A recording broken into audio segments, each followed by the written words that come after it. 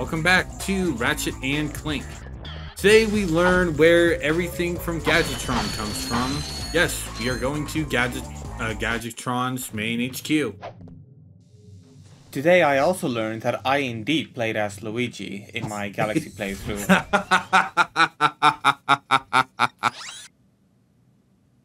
I'm very resourceful. And by that I mean I still had the file somewhere on my computer. Me, yeah. Meanwhile, for some reason, This Rex is here starting too. To become annoying. I'm not sure why I bother with you incompetent idiots. All right, I'll try this one more time. You are my most elite troops. I'm sending you down. I also find it hilarious when to there's, like- those troublemakers. Now go. A, a bad Go, guy, but you have to his minions... Gadgetron to get rid Like, of them, he's, not- he's not even at crotch height. Yeah, he really Wha- isn't. How did how did they not mutiny against him? Because Drek's smart. Drek's smart, and, and the and the uh, the Blargs are stupid. It does take a smart man to take advantage of stupid people. Yeah, yeah. I could make a so I could make a joke uh, with social commentary in it. We're but not don't gonna, but we're not gonna make one. We're not gonna make one. Yeah, welcome to honestly the the most kind of nice looking planet in the game. I wouldn't say it's a matter. I wouldn't say it's a, a nice looking planet, just a clean looking planet. Yeah, clean, but I but honestly I think this is my favorite looking planet in this game. That's a real beauty. And unlike Pokitaru, oh hey, this Oh, planet nice. is not isn't really that bad in terms of difficulty. It there there are some moments, but it's not awful. I also like how I, I like how they have these like escalators that are are not going are Walk- not going uh, automatic- above or below. Yeah, Like- automatic uh, automatic walking uh, spots. Like these these are the fucking Disneyland or airport kind of. I, I couldn't even call them escalators. Like what what do I call these? They they work as an escalator, but they don't escalate. Yeah.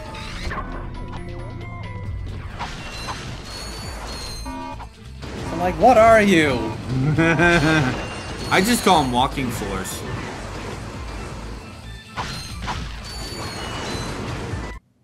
I, I mean, I guess it kind of makes sense. I got some great But- bargains for you today. Isn't technically every floor a walking floor? Because a floor you walk on. Therefore, every floor is a walking floor.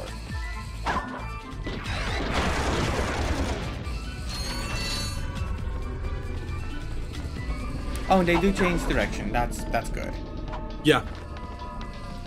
At the same time, I, I do love it when a video game allows you to, you know, walk again, walk into the the wrong side of the of the escalator. Like, I, I remember when Sega just uh, released Judgment, and in that game there's uh, there's an internet cafe with a working escalator. I also believe that was the first time any RGG game had uh, escalators in it.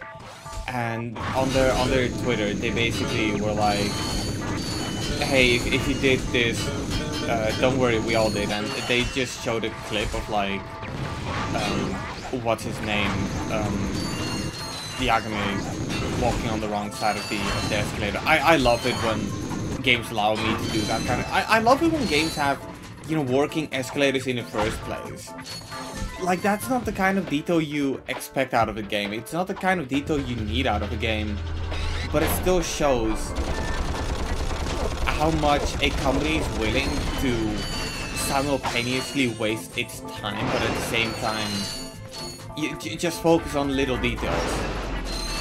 Like the, the first time I, I saw this was in I believe GTA San Andreas when I played it as a as a kid and that was kind of thing where I was like Whoa. Yeah. Yeah, that's true. And yeah, while we're on it, I mean, I, I also just love it when games do staircases right. Like a, a lot of games out there don't have proper animations for walking on stairs. So they just make But you, then- yeah, they just make you jump on the sta- up the stairs. Well, it's only really any Bethesda game that makes you jump up the stairs. There, there's certain platformers that do that. There's certain platformers that do that.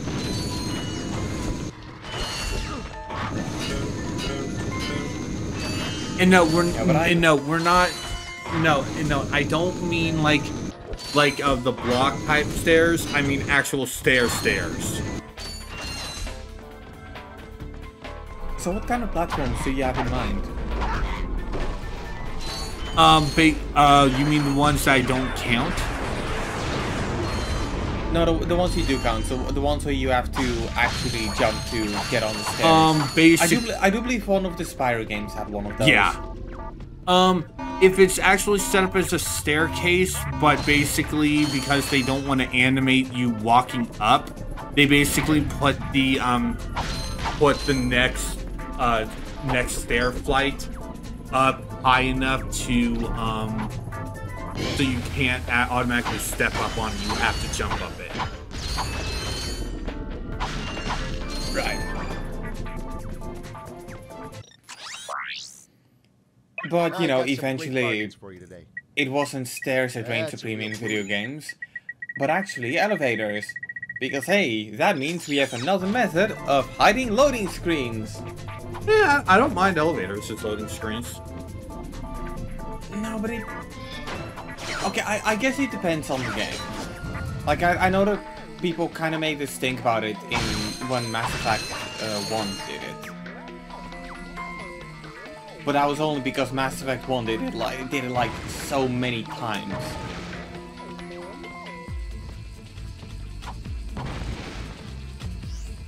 That being said, I still need to play Mass Effect 1 of these days. Hashtag's not that bad. I I probably might do it for the channel. I don't know. I still actually need to stream that series. I mean, you streamed the first game. Yeah, but that was before the um, Legendary Collection, so I kind of want to do the Legendary Collection Edition version. And that was also before few certain things happened on my channel. Yeah. I don't know. I, I, I just I just remember you streaming it. It was it was quite fun. Yeah, But- no, I did have fun too. You mentioned you were going to do it for the channel, right? Yeah. Oh wait, what? The game is only 17 hours? Oh, these games are short, even if you're going for them. Maybe I should play these. Yeah, they're, they're actually not that bad. They're more. They're way more. Also, I hate the. This is one thing that bugs me about the fucking um. Glove of Doom. It's like you little bastards, get that guy. Yeah, no, they're they're they're RPGs, but they aren't. But they're Bethesda RPG. Oh no, they're Bio. BioWare. BioWare. Yeah, like god damn it. I have no idea why I was saying Bioshock. Probably to remind me I still need to play those as well. which I do like. Like I like both of them. I like one a lot more. Mass Effect or Bioshock 1? Bioshock. So I've actually played all three games of of Bioshock. Alright.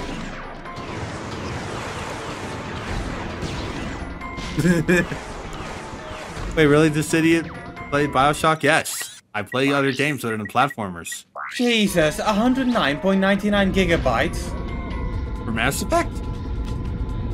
Yeah, Legendary Edition. Jesus. That's fuck. all three games. Because it's all three games. It's so ridiculous. Uh, Hang on, hang on. It's It- better than better than than, than Final Fantasy 15. Mass Effect. Mass Effect. Okay, yeah, but that's including like high resolution textures and whatnot. Okay, Mass Effect 1 original version, 15.80 gigabytes or 15.8 gigabytes. Mass Effect 2, 18.3, and Mass Effect 3,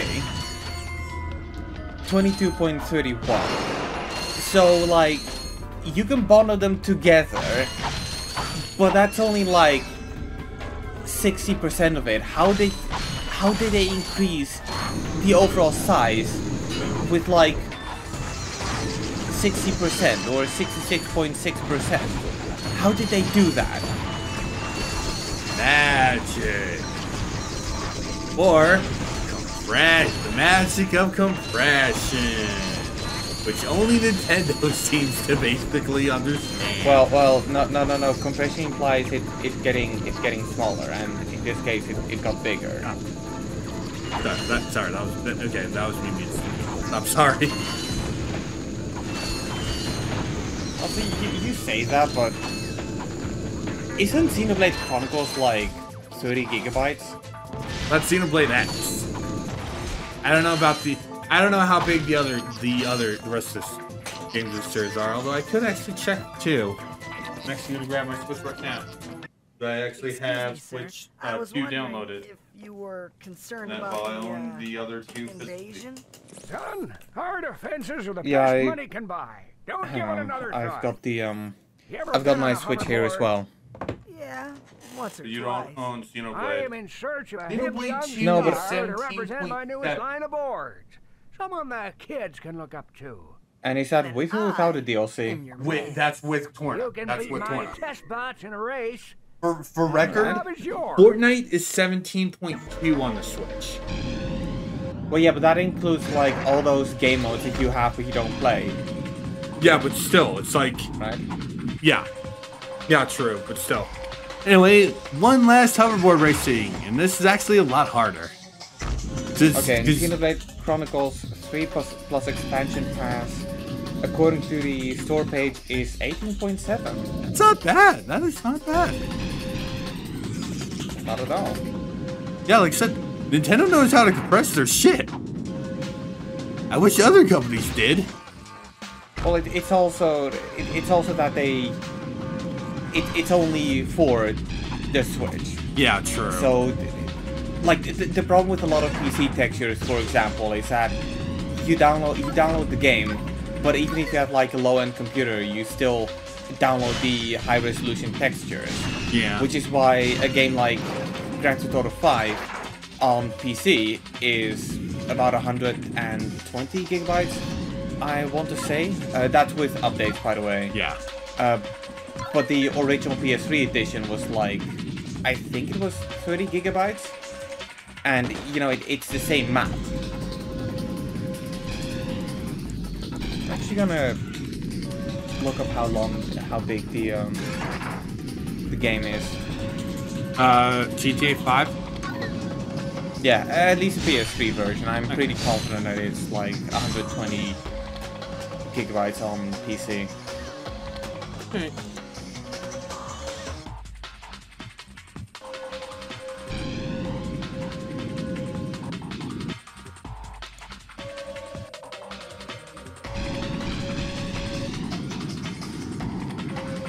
it, not even 30, like 15.64? That's not bad. So like, the PC version is about seven times the size of the PlayStation 3 version. Yeah, but also a reminder that PS3 is also kind of a pretty That weak system too. Now Like, I- just need like- to say a few It words was the strongest hot new system of the boards. generation. Really? Now? I could have sworn that the, Yeah. the- I could have sworn that the 360 was the strongest. Say what comes naturally. No, the Xbox 360 got perceived to be the, the strongest. Um, uh, on paper, hoverboards, and if The PS3 uh, was the strongest, dudes for the but the architecture was the one that developers were struggling with. Yeah. And there were a lot of there was a lot of resources that were basically either underutilized Hey, I was or thinking, poorly do I get utilized. discount on gadgets now? Uh, you have to Uh, which is kind of why two years before a lot of first-party PlayStation it. games, you know, stuff like your MotorStorm let you Motor have Storm this. or your Okay, I was about to say Yakuza, but Yakuza wasn't first party, But because it was our heavily non-robot made for customers. Japanese Simply equip market, the device and press the circle button. like You y- you know how the console assigned to the architecture is central on in Japan. detection by all sentry Xbox basically has no presence there, so if a game is button focused But they are on starting to, Japanese though. market, They- but they are starting to. Force fields for you. Caution. sure? Use Yeah, any they weapon are. While disguised will deactivate the hologuise. All right. Now we have the Hologuise. Interesting note.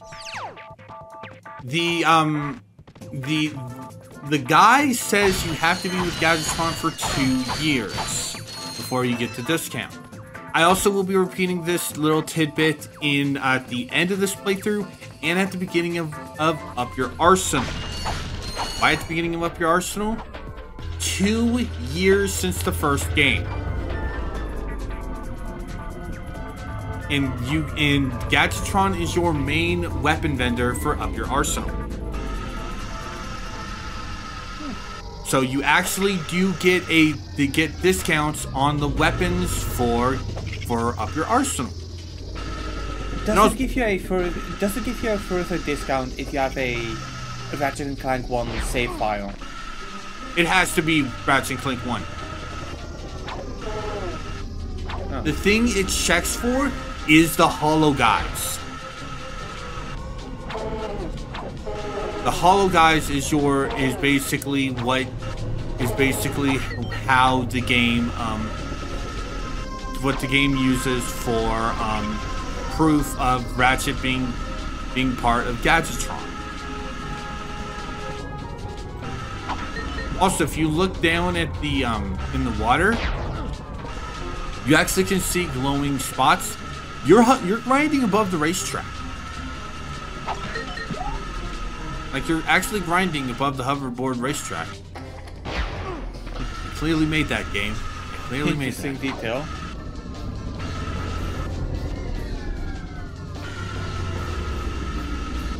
Also, I, I, I will say, uh, while I I find the concept of rail grinding pretty cool, I, I do find it kind of bullshit that you don't regenerate hit points while you're on there.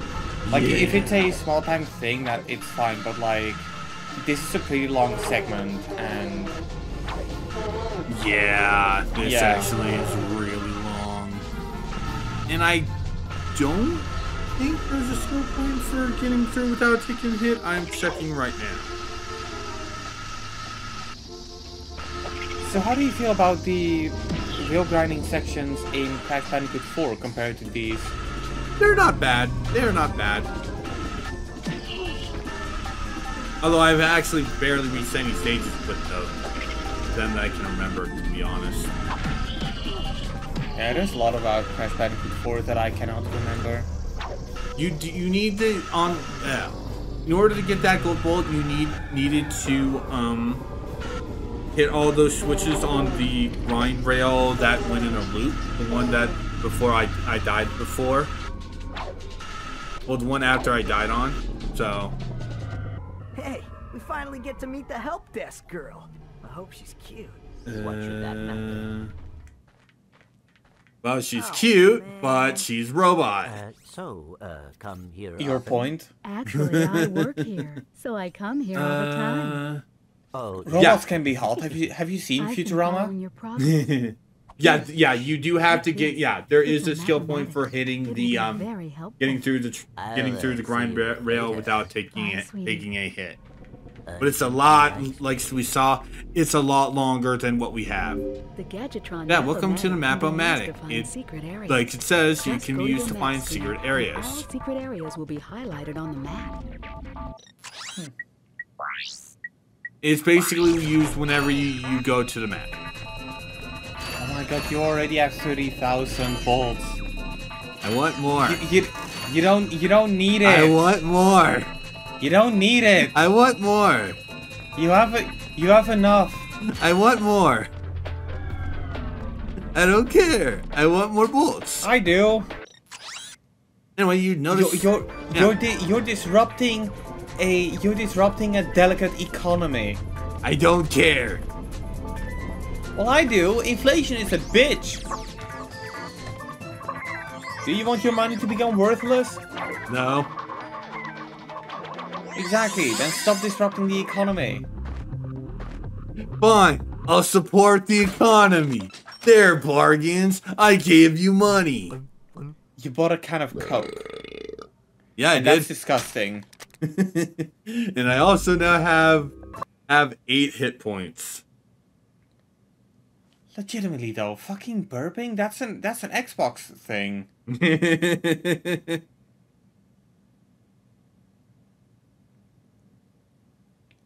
Ridiculous. That's what you get hooked up on. Ratchet letting out a loud one. At least he didn't fart. True.